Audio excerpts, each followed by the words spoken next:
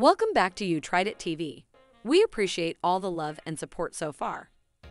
Please be sure to like and share the video, and most importantly, subscribe to the channel. Now let's talk about what's going on with the messy industry girls. JayDaYoungan was arrested on September 16th for accessory to second-degree murder, but before posting bail to end his four-day stint at Tangipahoa Parish Jail, he had a jail employee snap a picture of him, which got posted to his Instagram and nearly derailed his processing. The 23 Island rapper scrubbed the photo from his Instagram hours later following his release, but Warden Heath Martin came down hard on the Amite City jail employee who posted the photo by firing him for breaking jail protocol when it comes to interacting with inmates. Additionally, JayDaYoungan, the alleged accused murderer, claims that him and his dirty dreads were in a physical altercation with a fellow inmate while he was in his holding cell. Yes, girl, let that tea sink in. He claims the boys in jail are already coming for them cakes. Here is the video of him talking about the fight. Them bitches ain't never missed. Some, some of them, some of them, um, hitting with some of them. Them bitches went like that. Them bitches really coming though. Hitting with some of them. bitches, He still ain't let my shit go. Cody hit him about three, three more of them. bitches. He let me go. Boom.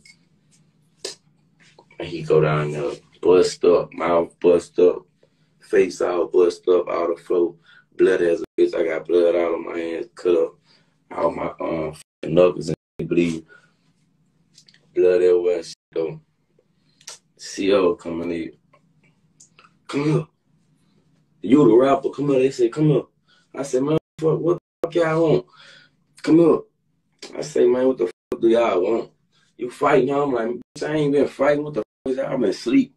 They said, well, you got blood on you? I said, man, Many people in his comments claimed that he was lying, and from there he went on to threaten his fans, stating he will beat them up as well. Do you guys really think he beat someone bloody and he was still released on bail? To be frank with you, if this really happened, he would have been charged with assault and more than likely his petition for bail would have been rejected. But if you all want to believe this queen, go right ahead. I for one will not be. It's the lies from me. This little boy has too much going on.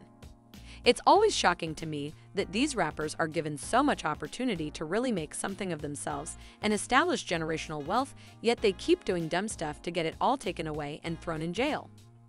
Anyway, let's get the discussion popping below in the comment section. Do you guys believe him regarding the fight? Do you think the jail employee should have been fired? Do you all think he played a part in the murder case against him? Please leave your thoughts below, and I will see you in the next video. Bye, my sexy, messy people.